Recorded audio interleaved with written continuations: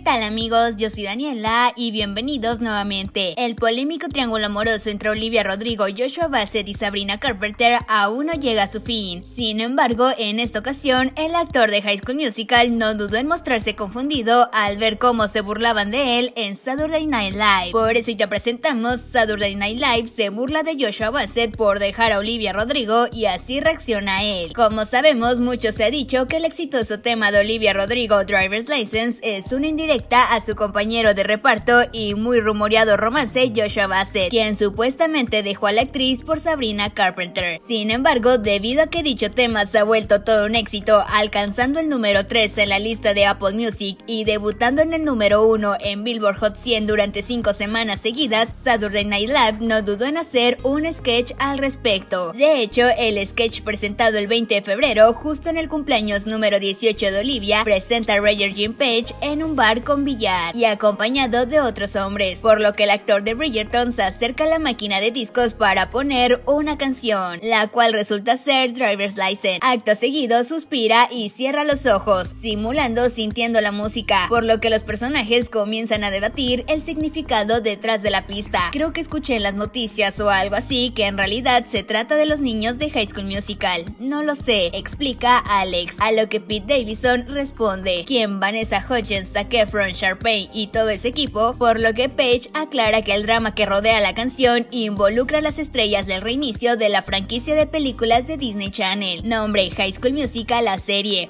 Olivia le escribió sobre Joshua Bassett, quien supuestamente ahora está con Sabrina Carpenter. Sin embargo, más adelante Mike Day compara el polémico triángulo de los cantantes con su propia situación amorosa. Me tiene pensando en mi ruptura. Tal vez soy Olivia y mi ex perra Gina es Joshua Bassett y Sabrina Carpenter es ese bastardo Enzo del garage. Tras esto, Joshua Bassett no dudó en reaccionar a través de un TikTok, mostrándose de lo más confundido ante la forma en que se expresaron de él. ¿Sueño hecho realidad? Preguntó el actor en la descripción. Por su parte, en el clip podemos ver cómo Joshua se asoma por una puerta, mientras en el texto escribe, amigo amigo, estabas en Saturday Night Live anoche. Tras esto, vemos al actor viendo su computadora mientras ponía el sketch, y oía la parte de Mike Day. Mi perra Gina es Joshua Bassett, por lo que luego la cámara enfoca su cara algo confundido. Así que parece ser que el actor no sabe cómo reaccionar ante el polémico sketch. Pero tú, ¿qué opinas? Yo soy Daniela y espero que este video te haya gustado. Y si fue así, no olvides regalarme un me gusta y suscribirte a este canal. Eso me ayudaría muchísimo. Nos vemos en el próximo video.